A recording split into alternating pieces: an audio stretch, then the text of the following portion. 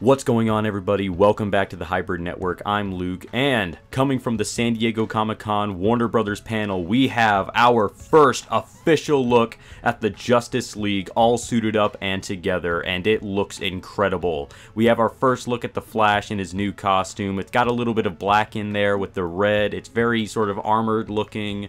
I gotta tell you though, it's very sleek. It looks like something that the Flash would wear in this DC Extended Universe. It looks amazing. Cyborg's outfit looks far better than I could have hoped. It's just so cool looking to see all of these characters finally together, standing together in live action.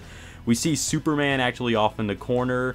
Didn't even think that they would go so far as to show him, but there he is, guys, the big blue Boy Scout with the entirety of the Justice League. This is amazing. Stay tuned with the Hybrid Network for more of our San Diego Comic Con coverage as it comes out. I'm Luke, and I'll see you guys in the next news flash.